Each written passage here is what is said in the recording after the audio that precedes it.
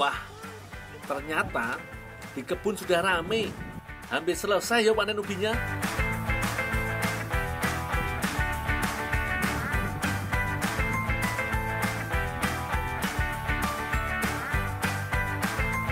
Aku tinggal mengangkut ubi saja.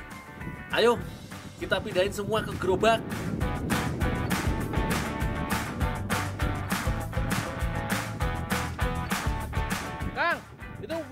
Bisa diangkat semua belum? Ya doh, udah pada semua, angkat semua ke rumah. Oh, ya Kang.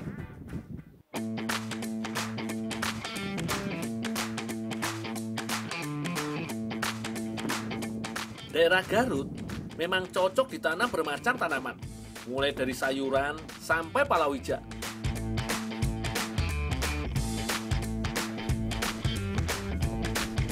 Salah satu yang dipanen sekarang, yo ubi ini.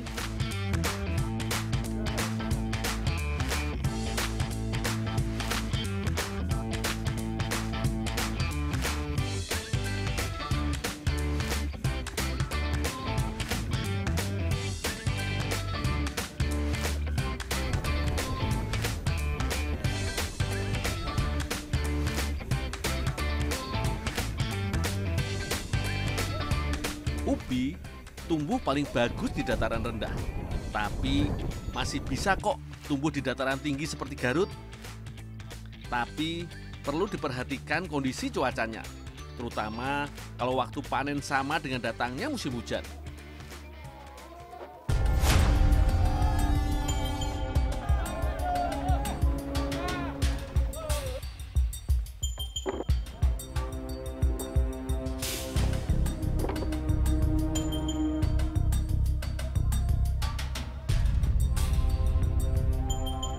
Walah, hati-hati mang. Namanya juga gerobak roda satu. Kalau lupa mengatur keseimbangan, yo jadi oleng. Apalagi jalannya menurun seperti ini.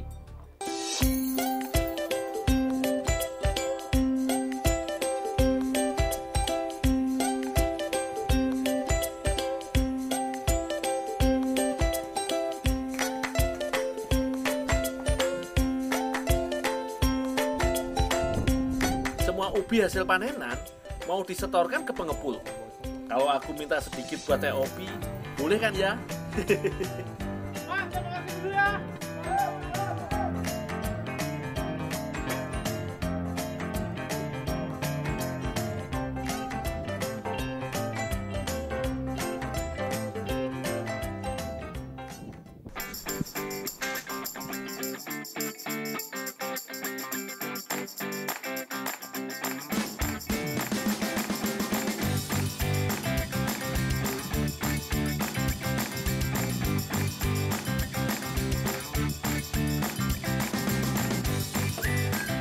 Semua pada tahu toh, ubi tidak hanya enak dimakan, tapi juga banyak manfaatnya untuk kesehatan.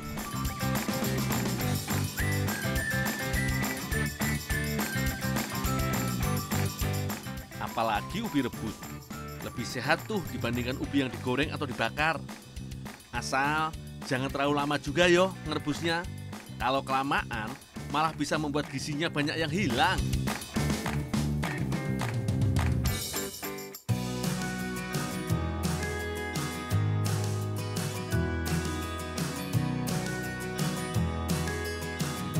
Buatku, ubi rebus saja udah enak dimakan.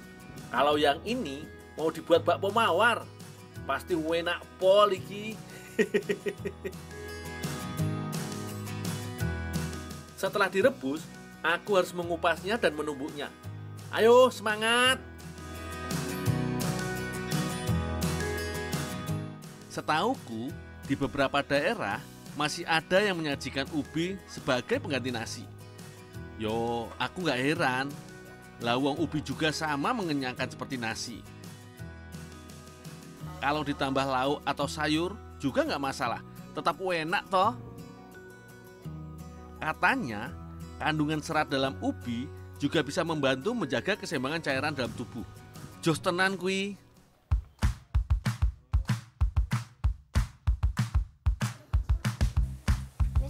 Iya. Teh Opi sudah menyiapkan adonan bakpo mawar. Ada tepung terigu yang dicampur gula dan vanili. Ojo lali ditambah pengembang ya supaya bakponya bisa mekat. Teh, ini teh ubinya udah ditumbuk teh. Makasih ya, Dok. Oh, iya teh. Ubi yang ditambahkan ke dalam adonan berbentuk tepung. Tapi kalau mau ditumbuk juga monggo. Yang penting saat ditambahkan dalam adonan bisa tercampur rata. Kalau ditumbuk begini, adonannya bisa langsung dicampur dan lebih cepat kali karena sudah lumayan basah. Nah, kalau minyak tugasnya membuat adonan tidak lengket. Kalau soal warna sih bebas. Banyak pewarna alami yang bisa dipakai. Salah satunya kunyit untuk warna kuning.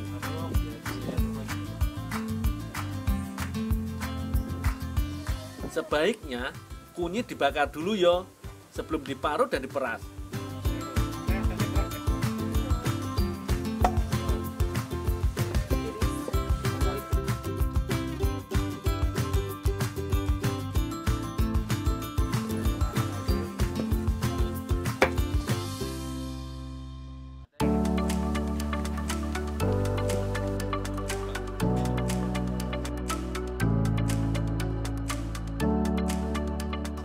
Bakpao juga bisa dihias dengan bermacam karakter kartun kesukaan anak-anak.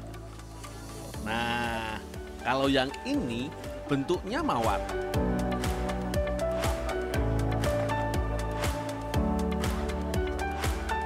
Tinggal menyusunnya jadi kelopak bunga mawar, lalu digulung dari ujung sampai lapisan terakhir.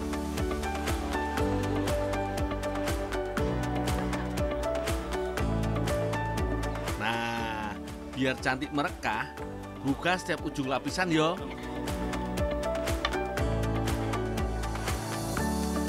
Untuk bagian putih mawar, bisa memakai ubi yang sudah diberi pewarna. Ingat yo, kasih warna yang kontras dengan warna mahkota mawar, biar makin cantik toh.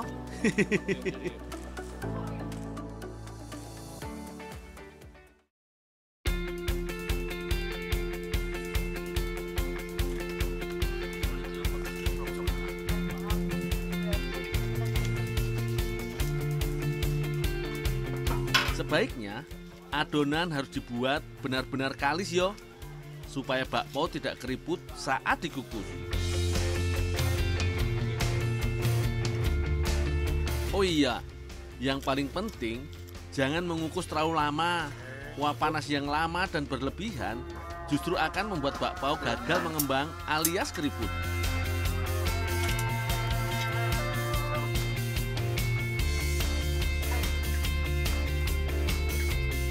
Sip, bakpao mawarnya sudah jadi.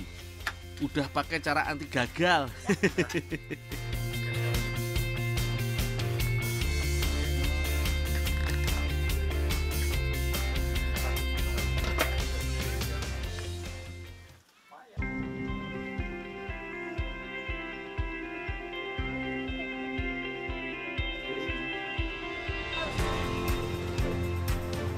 Kelihatannya sih sepele yo, tapi kalau nggak ada triknya, ya tampilan makanan bisa jadi kurang menarik loh.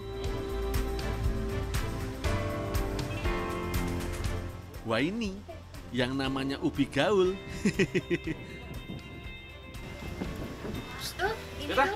Bapak mawarnya udah jadi. Udah sini, Teh. Ah, ayo, Bu. Berhenti dulu, Bu. Ubi tidak lagi hanya jadi makanan tradisional yang hanya direbus atau digoreng, tapi berubah jadi bakpao. Sebenarnya masih banyak juga loh olahan ubi yang unik lainnya. Kapan-kapan aku tunjukin yo.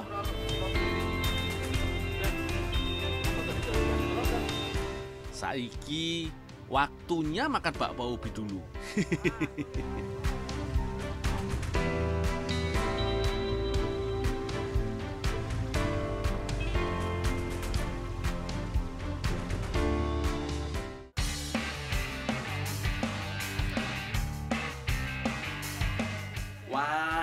Tidak terasa keseruan hari ini sudah berakhir. Besok masih ada yang seru bersama jejak anak negeri.